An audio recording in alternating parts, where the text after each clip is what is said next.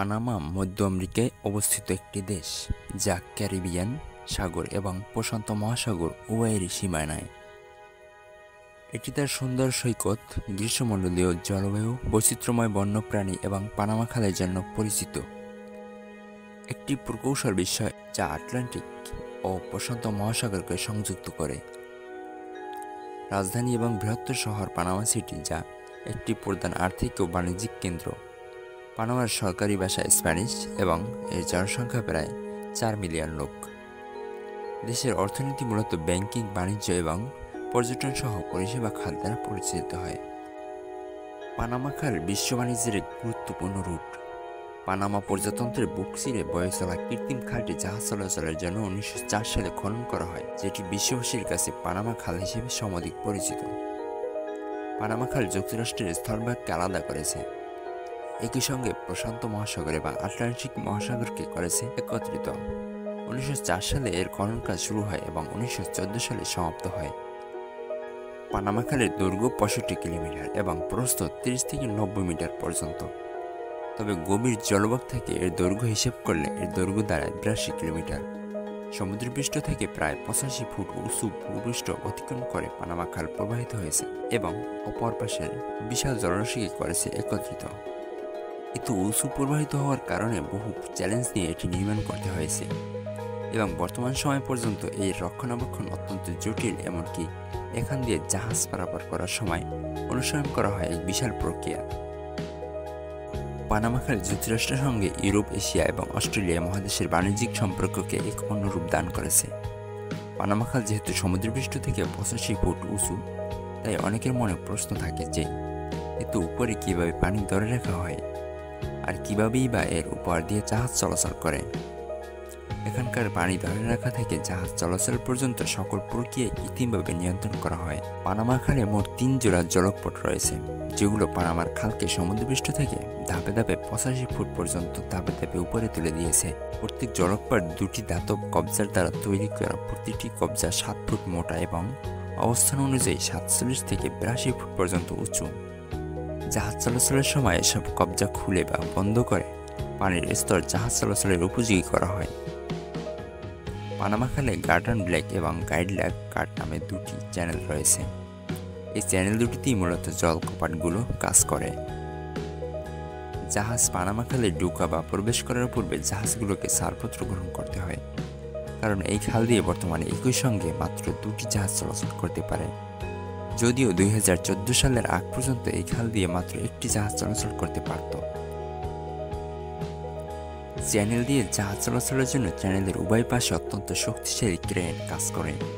এছাড়া পানি অপসারণ ও যোগান দিয়ে পানির স্তর সমান করার জন্য কাজ করে। অত্যন্ত শক্তিশালী কয়েকটি পাম্প। চ্যানেলের প্রস্থ মাত্র একশো দশ ফুট হওয়ার কারণে একশো দশ ফুটের কম প্রশস্ত জাহাজই কেবলমাত্র প্রবেশ করতে পারে এই খাল দিয়ে। তবে একশো দশ ফুট প্রস্থ বিশিষ্ট বা তার বেশি প্রস্থ বিশিষ্ট জাহাজ খুব কমই রয়েছে। পানামা খাল মার্কিন যুক্তরাষ্ট্রের পূর্ব পর্যন্ত উপকূলে জাহাজ চলাচলের ক্ষেত্রে আট হাজার কিলোমিটার পথ কমিয়ে দিয়েছে।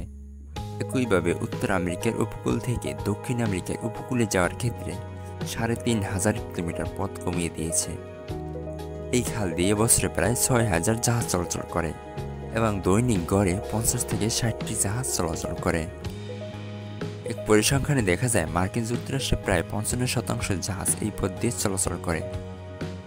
সমগ্র বিশ্ব বাণিজ্যের পাঁচ শতাংশ সংগঠিত হয় এই পথ দিয়ে।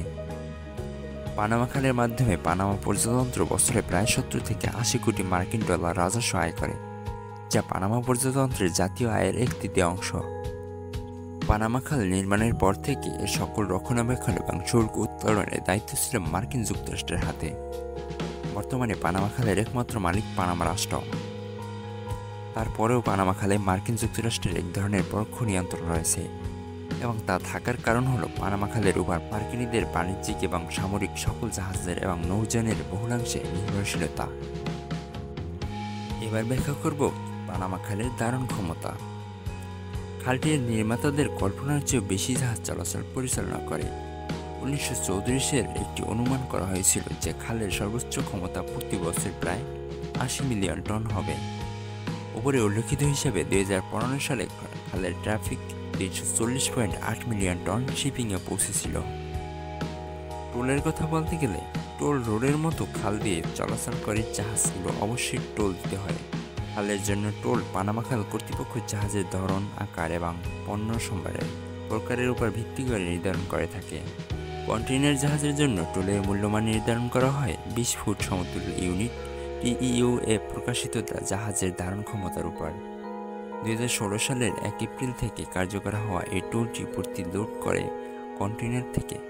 চুয়াত্তর মার্কিন ডলার থেকে টিইউ ধারণ ক্ষমতা পূর্তি, ষাট মার্কিন ডলার এবং জাহাজ পূর্ণ হলে টিইউ পূর্তি সম্ভাব্য নব্বই মার্কিন ডলারের জন্য তিরিশ মার্কিন ডলার হয়েছে।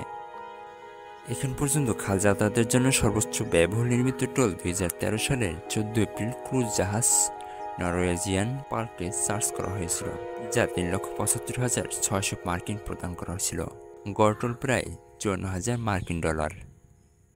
উনিশশো আঠাশ সালে পানামা খালে সাঁতার কেটে আসা আমেরিকান রিচার্ড হ্যালিবার্টন সবচেয়ে কম টোল ছয়ত্রিশ সেন্ট দু হাজার বিশ সালে ফাইভ পয়েন্ট ফোর থ্রি ডলারের সমতুল্য প্রদান করেছিলেন।